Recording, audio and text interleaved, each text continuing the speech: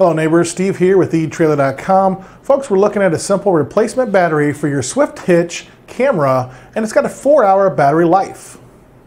Now folks, this fits the Swift Hitch item number SH01 trailer hitch aligner camera, and it has a four hour battery life once it's fully charged. It does give you the positive and negative terminals here. It does require soldering to install it and it's only for use for cameras that are built before November of 2016. So again, a nice replacement battery by Swift Hitch for the Swift Hitch SH01 cameras. I'm Steven, thanks for looking.